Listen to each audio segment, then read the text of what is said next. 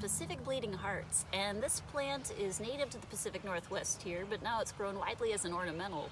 Uh, it first became known to Europeans in 1792 during the Vancouver expedition when a fellow named Archibald Menzies uh, took a sample of the plant and took it back to Europe with him and eventually gave some seed to a botanical garden there. The plant has these beautiful heart-shaped flowers that grow in a cluster at the end of a leafless stem.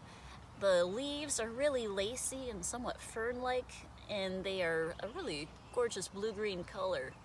But I think one of the coolest parts about the plant are its seeds. It has seed pods with a bunch of little black seeds in it, but these little black seeds have a small globule of fat attached to each of these. And the purpose of that globule is to attract ants. So the ants take the seed and they carry it back to wherever their little hill is, and they end up planting more bleeding hearts there. So they disperse the, the seed for the plant. And it's kind of weird to think about. Are the ants growing the plants? Are the plants growing the ants? And then you take that to us. Do we grow plants or do plants grow us?